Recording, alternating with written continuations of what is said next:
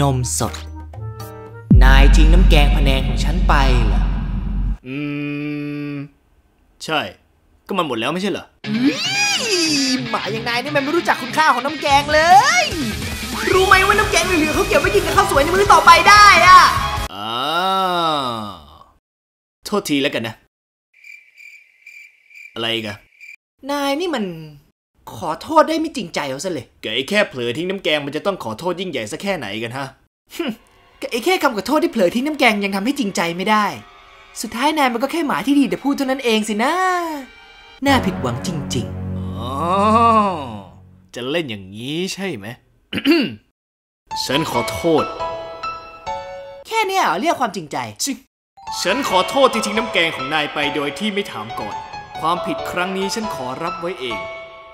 ฟังแล้วยังไม่ค่อยรู้สึกผิดเท่าไหร่นะ ฉันผิดเอง ฉันไม่ได้ทิ้งน้ำแกงไปในของนายเลย ฉันน่าจะรู้ว่ามันมีค่าสำหรับนายแค่ไหน ครั้งต่อไปจะไม่พลาดแบบนี้แน่นอน ดูเวอร์ไปนิดนึง เหมือนประชดประชันกันเลย ฉันผิดไปแล้วรีบโปรดยกโทษดิฉันเถอะ อย่าให้น้ำแกงพะแนงมาทำลายความสัมพันธ์ของพวกเราเลย อันนี้มันหมาโง่เลยแฮะ ขอโทษที่ทิ้งน้ำแกงของนายนะไอ้เศษมนุษย์84,000เซลล์ ถ้าไม่อยากโดนย่อยสลายจนขยับตัวไม่ได้ก็รีบๆให้อภัยกันได้แล้ว ให้อภัยร้อยเปอร์เซ็นต์เลยครับ ถ้าชอบก็อย่าลืมกดไลค์ กดแชร์ กด Subscribe นะครับแต่ถ้า ไม่กดแล้วก็ ก็ได้ ก็แล้วแต่ ก็ได้ เออ